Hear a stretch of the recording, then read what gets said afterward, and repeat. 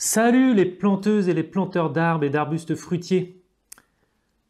Dans cette vidéo, je vous donne tous les critères pour vous permettre de bien choisir vos arbres et vos arbustes fruitiers pour vos commandes et vos plantations de cette année. Vous êtes prêts? Alors c'est parti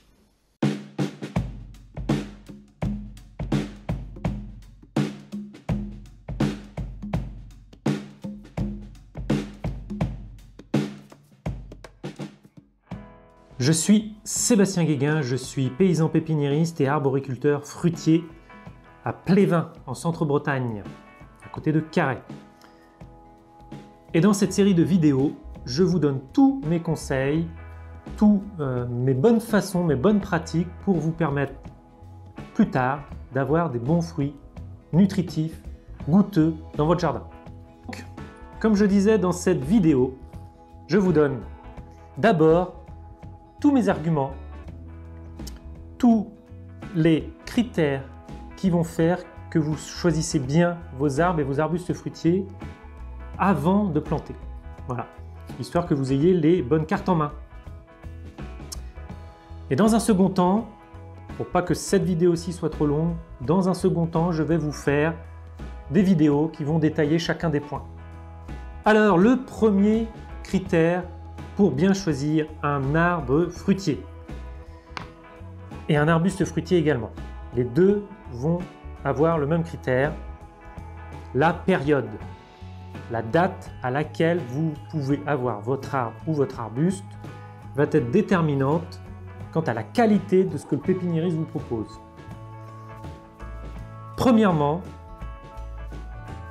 et c'est un autre critère qui vient en même temps, je vous conseille de ne planter que des arbres et des arbustes en racines nues. Ça veut dire que vous oubliez les pots. Le racine nue, c'est quand on voit les racines. Le pot, ben, on ne voit pas les racines.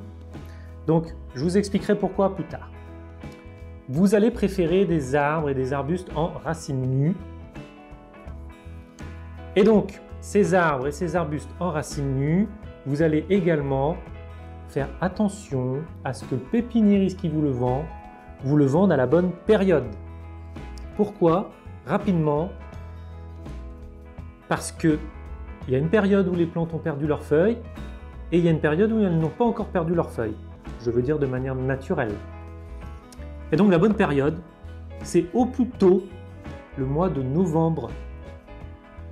Je dis bien au plus tôt, vraiment le plus tôt. Ça veut dire surtout que vous ne devriez jamais avoir à acheter un arbre ou un arbuste en racine nue avant le mois de novembre. Donc septembre, octobre, niet. Deuxième critère de choix. Votre pépiniériste doit vous proposer des arbres jeunes parce que vous devez planter le plus jeune possible. C'est simple, plus un arbre être vieux, plus il va mettre du temps à reprendre, plus il va avoir du mal à reprendre, plus il aura perdu d'énergie au moment de sa transplantation. Et plus il va se passer des choses un petit peu bizarres. Ça encore, je vous l'expliquerai en détail bientôt. Donc il vous faut des jeunes arbres, idéalement ce qu'on appelle des sions pour les arbres fruitiers. Le sion, c'est juste les racines et une tige. Je vous expliquerai ça également dans une vidéo très bientôt. Un sion. Et pour un petit fruit, c'est un petit fruit d'un an qui a deux, trois branches en général. Bien formé, bien pourvu en racines, en proportion des branches. La vie moderne, la vie de maintenant, la déconnexion à la nature fait que beaucoup d'entre vous êtes pressés d'avoir des fruits dans vos arbres. Et donc quand vous plantez un arbre fruitier, eh bien, vous ne voulez pas planter ce jeune sion d'un an parce que vous pensez, à tort, qu'il va mettre plus de temps à vous produire des fruits. Sachez que c'est faux, et je vais vous l'expliquer dans une prochaine vidéo. Troisième argument, troisième critère de sélection. Revenons-en à nos racines nues.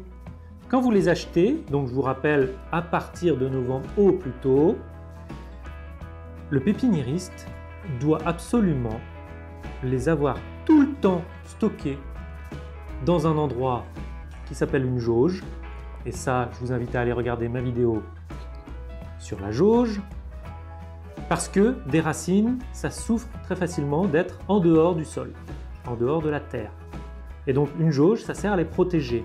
Donc un pépiniériste qui vous vend un plant en racines nues, même en novembre, même en décembre, qui est une bonne période pour les racines nues, je vous le rappelle, si vous les vend et qu'elles sont à l'air libre, fuyez. Et ça, je vais également vous l'expliquer. Vous avez déjà eu tout un tas d'explications si vous regardez ma vidéo sur la jauge, qui sert justement à expliquer pourquoi on met les arbres à racines nues, les arbustes à racines nues en jauge. Quatrième et avant-dernier critère de sélection, pour les arbres, ça ne sera pas valable pour les petits fruits, pour les arbres, greffés donc, la plupart du temps, vous devez absolument connaître le nom du porte-greffe. Le porte-greffe, je vais vous expliquer, si vous ne le savez pas, sûrement un petit peu de retour, ce que sont les porte-greffes. Capital de connaître le nom du porte-greffe. C'est hallucinant encore aujourd'hui qu'il y ait autant de pépinières qui vendent des arbres fruitiers sans marquer le nom du porte-greffe dessus. C'est hallucinant. Ben, vous ne savez pas quelle taille va avoir votre arbre. Donc comment savoir s'il va aller dans votre jardin? Quand il est tout petit, il y va, oui, mais il va grandir. C'est un arbre. Donc absolument connaître le, pont, le nom des porte-greffes. Et ça, c'est pareil, je vais vous le détailler, je vais vous l'expliquer. Enfin, le dernier critère, qui est largement aussi important que les autres,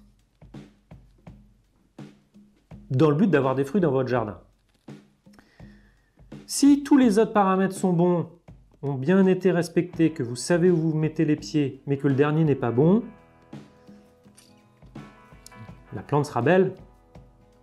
Mais ce qu'il est important de savoir, c'est les variétés qui marchent chez vous. Vous devez absolument acheter des variétés qui fonctionnent chez vous. Donc, soit vous avez fait des recherches, vous savez qu'est-ce qui marche chez vous, et sur Internet, dans les livres, auprès des associations du sauvegarde du patrimoine fruitier par exemple, les associations de pomologie. Bon, ils savent vous dire les variétés de votre région. Première chose, celles qui fonctionnent. Mais aussi, vous pouvez demander conseil à des pépiniéristes de confiance. Et un pépiniériste de confiance, c'est pas celui qui parle le mieux, c'est celui qui connaît le mieux ces variétés. C'est celui qui est capable de vous dire ne prends pas ça, ça ne marchera pas chez toi dans ton contexte. Tu peux prendre ça, ça, ça marchera.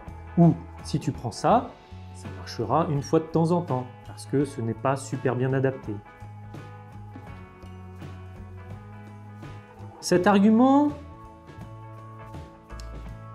il vaut tout son pesant d'or, parce que les pépiniéristes, par exemple ici en Bretagne, qui viennent proposer des variétés qui sont hors Bretagne, ils sont là juste pour vendre ce qu'ils ont. Hein.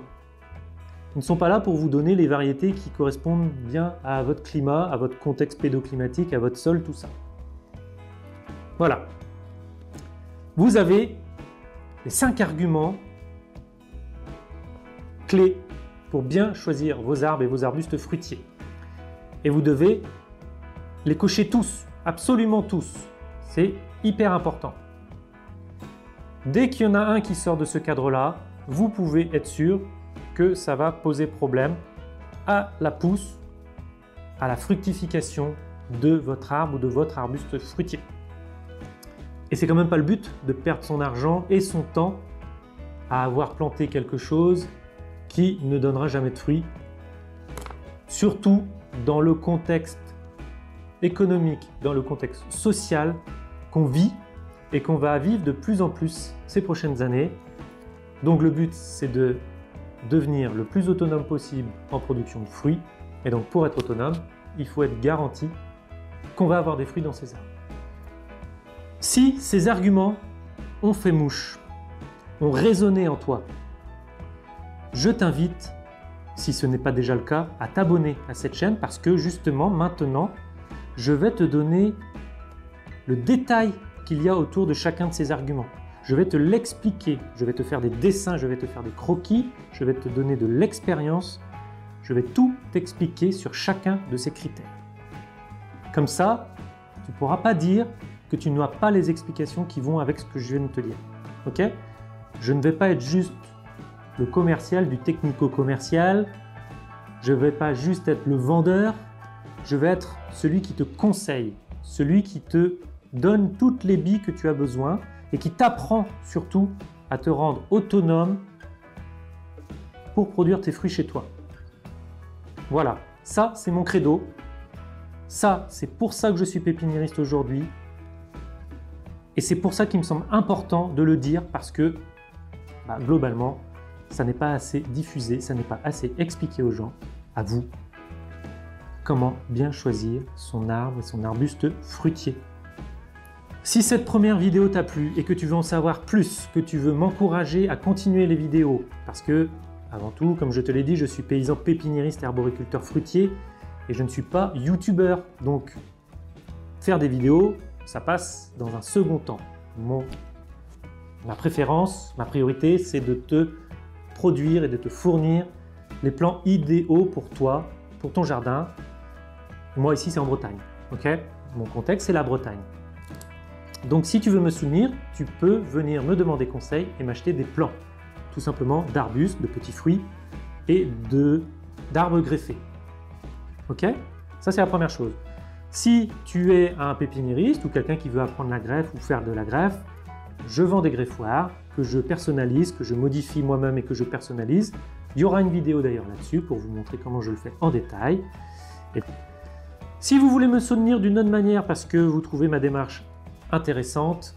Vous pouvez contribuer de plusieurs façons, évidemment en partageant, en aimant les vidéos, en mettant des commentaires et, j'y répondrai, surtout si vous avez des questions. Vous pouvez également euh, me soutenir financièrement avec euh, la cagnotte Tipeee que j'ai mis en place.